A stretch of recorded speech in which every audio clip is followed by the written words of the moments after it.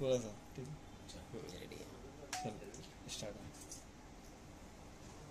मर्जिया पठान आप लोगों की तरफ़ से खास तौर पे बारिश के मौके पर किस तरह की प्रतियोगिता आयोजन की जा रही है और ये कहाँ पर होगा और कितने साल के उम्र के बच्चों के लिए ये प्रतियोगिता है? अस्सलाम वालेकुम और नमस्ते।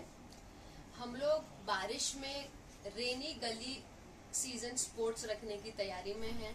डॉक्टर जितेंद्र अवार्ड साहब और अशरफ शानू पठान साहब के सहयोग से हम लोग ये कार्यक्रम ऑर्गेनाइज कर रहे हैं 12 जून संडे को।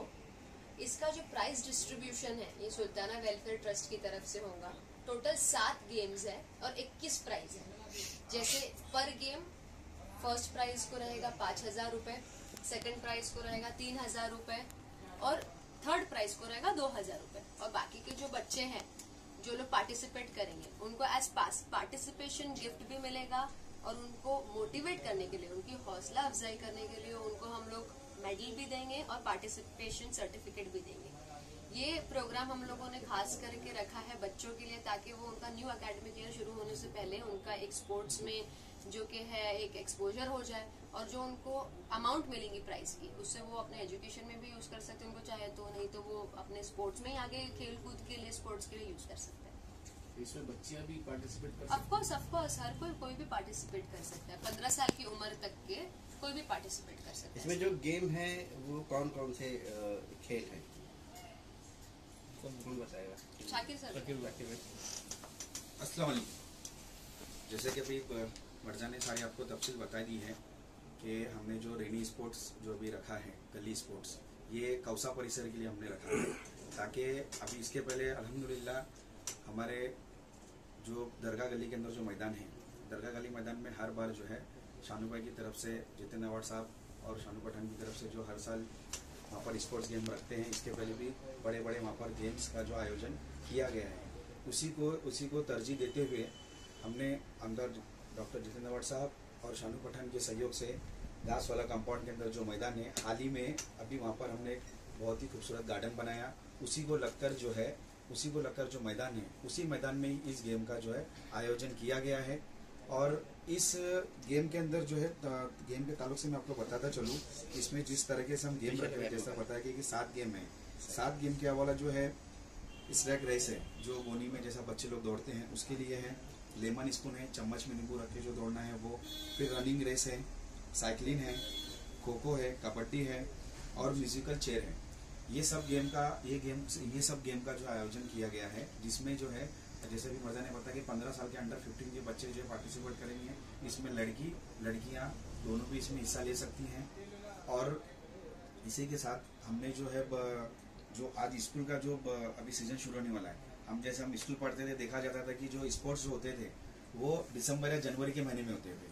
तो हमारी मर्जे की ऐसी सोच थी कि इस चीज़ को जो स्कूल के जो गेम पहले जो बीच सेंटर में होते हैं, क्यों ना उसको जो हम पहले करा के बच्चों के अंदर जो है मतलब एक ऊर्जा पैदा हो, ताकि वो स्पोर्ट्स में और बढ़ावा दे। तो हमने इसी के बात को मद्देनजर रखते हुए जो है, जैसा बच्चे ज़्यादा से ज़्यादा स्पोर्ट्स के अंदर जो है, अपना अपना जो शौक पैदा करें। और उसके अंदर से जो जैसा भी अभी देखा जाता है कि बहुत सी चीज़ें जो मतलब बच्चे स्पोर्ट्स से दूर रहने की वजह से जो है गलत इसमें जो है चले जाते हैं।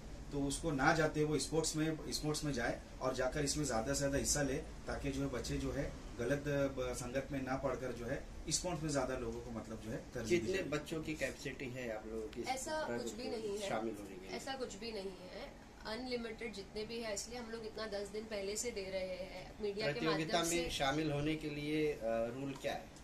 रूल कुछ नहीं आपको आपका आधार कार्ड लाना है बस और आपको दो ऑफ़िस है एक तनवर नगर पे जो ऑफ़िस है साकिब भाई की उधर और एक यहाँ पर शाकिर अंकल की जो ऑफ़िस है यहाँ पर नशे एक नश- नशेमन में एक तनवर नगर में दो ऑफ़िस है। तो उधर आप लोगों को आके वो केवल रजिस्टर करना है वो रजिस्ट्री का रजिस्टर में पूरी हमारी निगरानी रहेगी।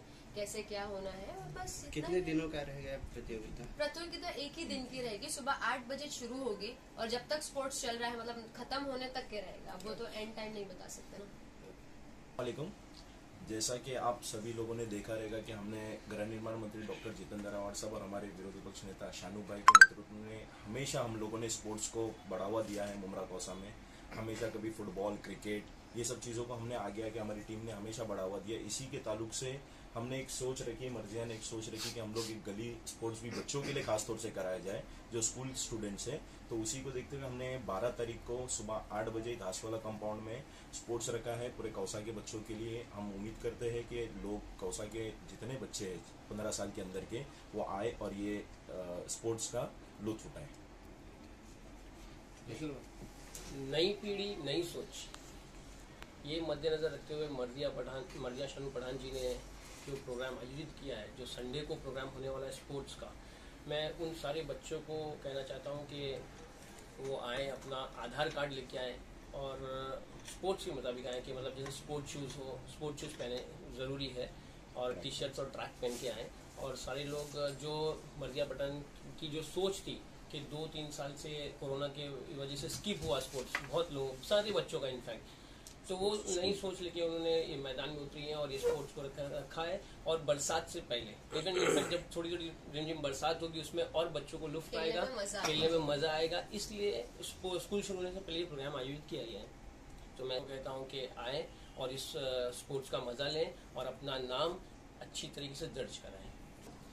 हमारे नेता डॉक्टर जितेंद्र साहब के मार्गदर्शन में, और शानू भाई के सहयोग से मर्जिया पठान ने एक गली स्पोर्ट्स का ये रखा है घास वाला कंपाउंड में। तो मैं चाहता हूँ ज़्यादा से ज़्यादा बच्चे लोग का मज़ा मज़ा ले, और 12 तारीख को संडे सुबह आठ बजे से शाम देखो कितना टाइम होता है, पाँच, साढ़े पाँच बजे जो भी होगा, वो इंशाल्लाह ज़्यादा से ज़्यादा लोग आके उसका मज़ा लें।